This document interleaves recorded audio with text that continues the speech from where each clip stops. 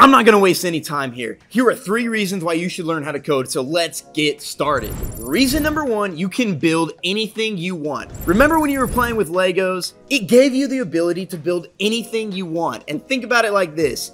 Almost everything in our daily lives has been built with code in some way, shape, or form. From the apps on our phones to the websites we visit on a daily to the software that runs our cars. All of these things were built with code. And learning how to code gives you the power to create something from scratch and turn all of your ideas into a reality. Maybe you want to build an app that helps people stay organized or more productive. Or maybe you want to create a website to showcase your photography portfolio. With coding skills, you have the power to bring your ideas to life and create something that people can use and benefit from think of coding like having a toolbox with all of the tools that you need to build anything you want.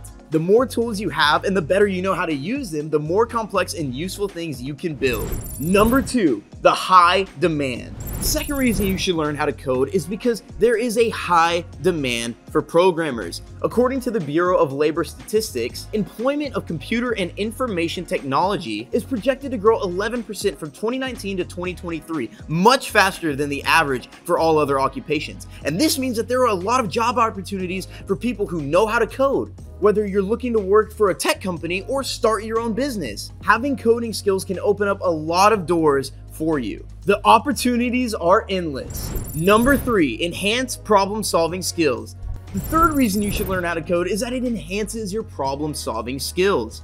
When you're writing code, you're essentially breaking down a problem into smaller, more manageable parts and finding a way to solve it. This type of thinking can be applied to many different areas of your life, like arguing with your wife, not just coding.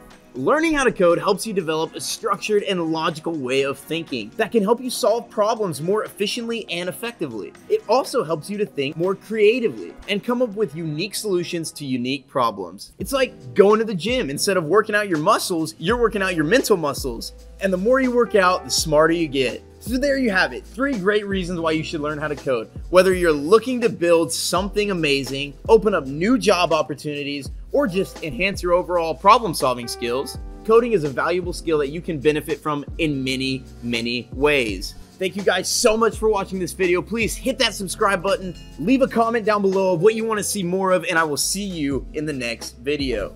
Peace.